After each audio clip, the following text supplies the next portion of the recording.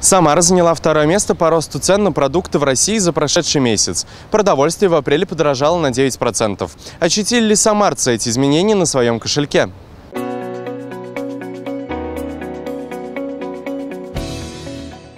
Ощутила, да, ощутила значительно. Дорожает каждый день на 2-3 рубля.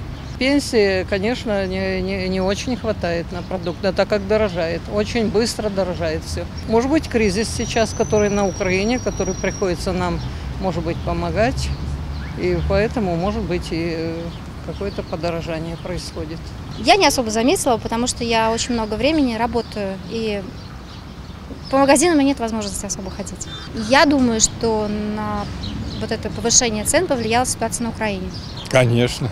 Я вообще пенсионер, и поэтому ощущаю очень.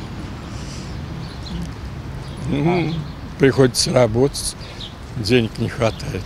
Доллар у нас подорожал, евро, значит рубль дешевеет. Поэтому Поскольку я живу одна и веду активный образ жизни, как-то я не очень ощутила этого.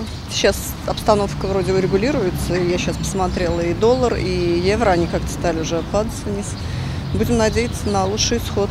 Конечно, молочными продуктами, естественно, мы пользуемся. И естественно, что мы обратили внимание на то, что продукты стали дороже молочные. Понять я, почему они стали дороже, не могу. Что коровы меньше дается, что ли? По мнению экспертов, рост цен обусловлен событиями вокруг России. Цены перестанут расти, если ситуация стабилизируется. Роман Харасов, Андрей Тишин, специально для 63.ру.